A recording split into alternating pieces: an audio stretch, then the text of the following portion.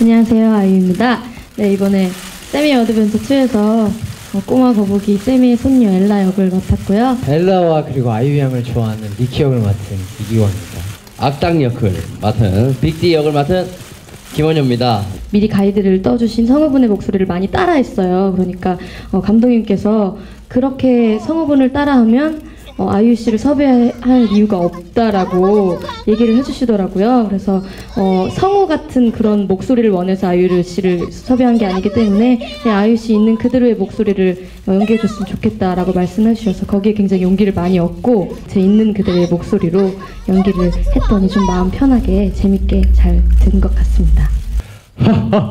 뭐 이렇게 웃는 게 있는데 니키라는 놈이 참 웃는 연기가 많더라고요. 그래가지고 이렇게 하하하 이 복식으로 웃는 게 너무 많다 보니까 복근이 생긴 것 같아요. 네. 네, 너무 많이 웃어가지고 예, 그 덕분에 예, 몸매 아니요 괜찮아요. 유지에 참저 도움이 됐죠.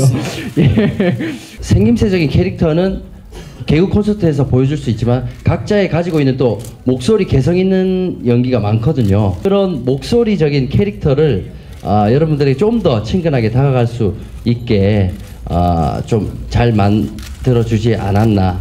유행어도 뭐 많이 쓸 수가 있고요. 예. 어떤 유행어 쓰셨는지 말씀 좀 부탁드릴게요.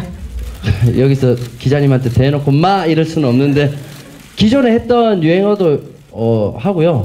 앞으로 제가 하고 싶은 유행어도 좀 섞어가면서 많이 했어요. 네. 녹음하면서 계속 기강 씨가 한 거랑 들으면서 같이 녹음을 했거든요. 근데 진짜 저는 약간 라이벌 의식 같은 게 계속 들어서 그리고 진짜 너무 잘 해놨더라고요. 그래서 정말 니키 같았어요. 그래서 조금 네 약간 긴장도 많이 했었고 기강 씨걸 들으면서 약간 좀 더 의지를 내면서 어, 신경 써서 그렇게 자극을 받으면서 녹음을 했었습니다.